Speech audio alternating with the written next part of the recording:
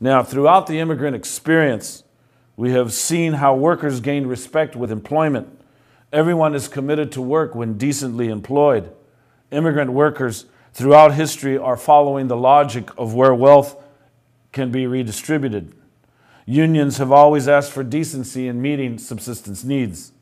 Every immigrant community that is now part of the American social fabric developed strategies to improve the immigrant community's struggle to survive.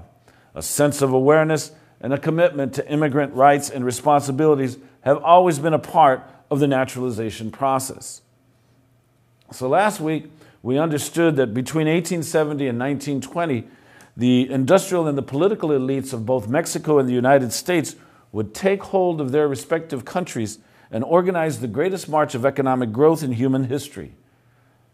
They would do it with the aid of and at the expense of every conceivable uh, labor force black labor, white labor, Chinese labor, Asian labor, European immigrant labor, Mexican labor, Native American labor, female labor, child labor, and they would reward them differently by their race, by their gender, by their national origin, by their age, and by their social class. And this march of economic growth transformed existing social relations and introduced radical changes in production and occupational structures. The main areas of occupation for those living in and moving to southern, uh, uh, northern Mexico and to the United States Southwest, the main areas of occupation were cattle ranching, agriculture, mining, and transportation. Now, the Porfiriato in Mexico was violent. The advance of civilization through modernization, through the rise of urban centers, through immigration, through the rapid industrialization of the country, it came at the expense of the working class. It came at the expense of farmers and peasants. So wealth, political power, and access to education were concentrated amongst the few, both in the United States as well as Mexico. So overwhelmingly, people of European descent controlled both wealth and governmental decision making power in Mexico. Foreign companies linked through Wall Street and headquartered in New York, Boston, Philadelphia, Austin, London, Paris, and Amsterdam exercised power in Mexico. Now, the source of the wealth generated at the turn of the century that was used for the financing of mass consumption, the source of wealth generated at the turn of the century that was used for the financing of mass production was mining. Mexico, with financial backing from Wall Street, tapped into its mineral wealth. The United States, meanwhile, developed the mineral wealth that once belonged to her neighbor to the south. So it is in this vein that we need to appreciate those miners who were working and generating this wealth. In Mexico, they were known as los mineros. Now, Arizona and New Mexico teamed with activity along with the northern border states of Chihuahua and, and Sonora. Mexicans filled the labor needs for this exploding industry. We're going to take a look at a film clip called from, from a documentary called Los Mineros. This is a PBS documentary, and we want to get a glimpse at the process of change that occurred in Arizona at the turn of the century. We're going to watch a clip from a PBS documentary entitled Los Mineros, which is a film that is required viewing for this class. Now let's visit a place called Clifton Morenci in Arizona and let's appreciate how racism is an instrument of power used by those in power to perpetuate their power. Let's also appreciate the rich racist legacy of Arizona and recognize that the current crisis in Arizona, especially over SB 1070 and the recent uh, um, uh, controversy over Sheriff Joe Arpaio, is but a continuous expression of a deep rooted hatred that whites have exhibited toward Mexicans in the state of Arizona. Let's go to that film clip.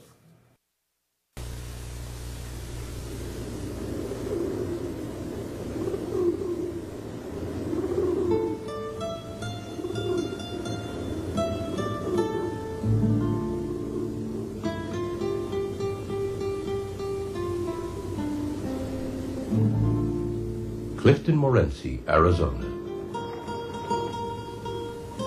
There is little left to remind us of the fortunes that were made and lost in these hills. Copper made this one of the richest mining districts in the United States.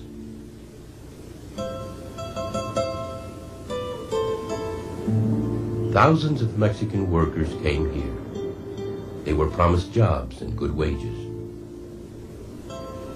Among the first to arrive was the father of David Velasquez. He left Mexico with a few bags and a contractor's words of great opportunity still echoing in his head. My father came over to Morenci about 1906, and uh, he used to live in Chihuahua. Apparently, the American companies uh, knew that the people from Chihuahua were experienced miners, so they used to send their people out there and recruit. And they come over what they used to call reenganches. In other words, they, they recruit a bunch of people, men especially, and uh, bring them over all together. Most of the mineros came from the northern Mexican states of Sonora and Chihuahua, where they had been miners for generations. They were brought to a small mining district in eastern Arizona. Within a few years, Clifton Morenci grew from 200 to 10,000.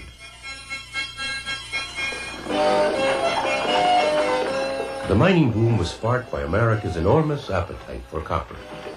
With the arrival of electricity, copper was needed for telephone lines, telegraph service, and power plants.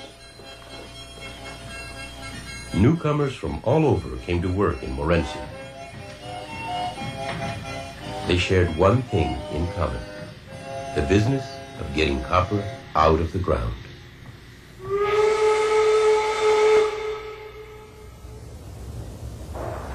Using candles for light, the miners spent 12 hours a day underground. They worked 4,000 feet below the surface in a maze of tunnels 100 miles long. The shafts were supported only by wooden beams.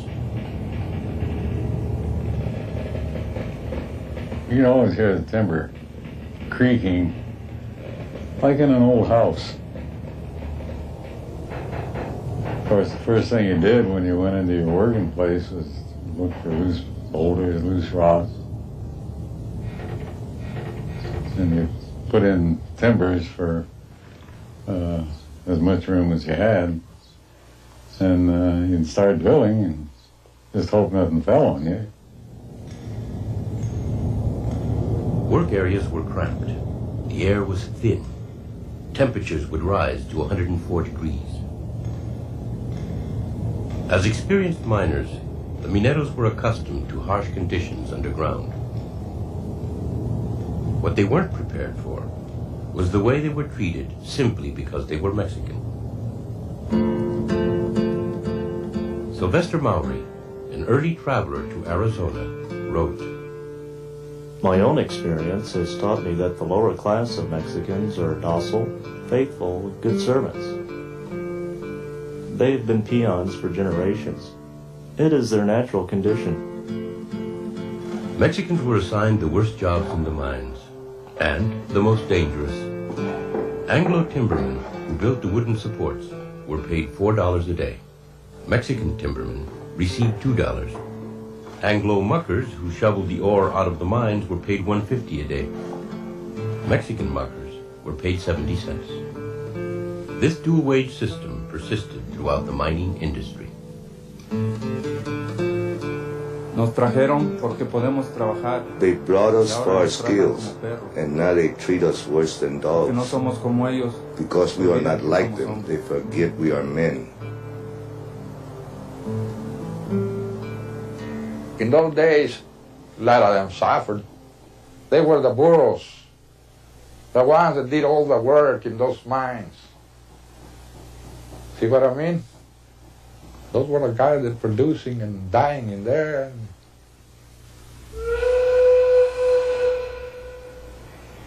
The Minero not only faced hardship in the mines, but also in town, a company town, built chiefly by the Phelps Dodge Corporation.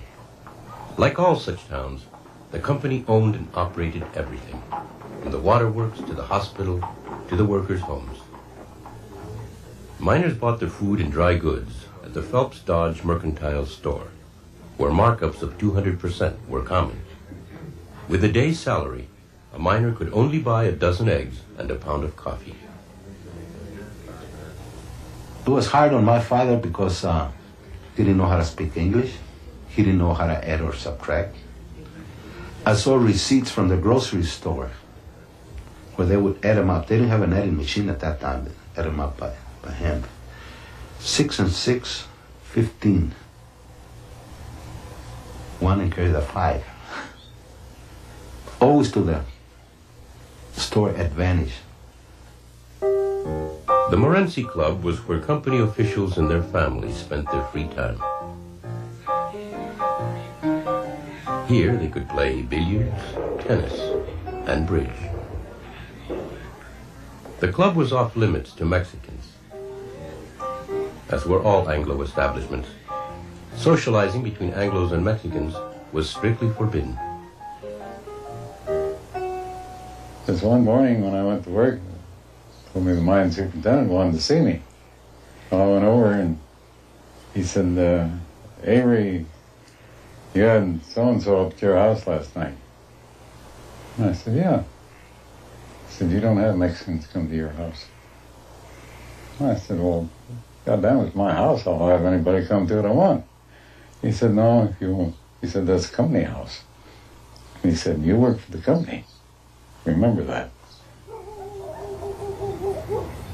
Mexicans were forced to live in the most undesirable parts of town, usually along steep hillsides.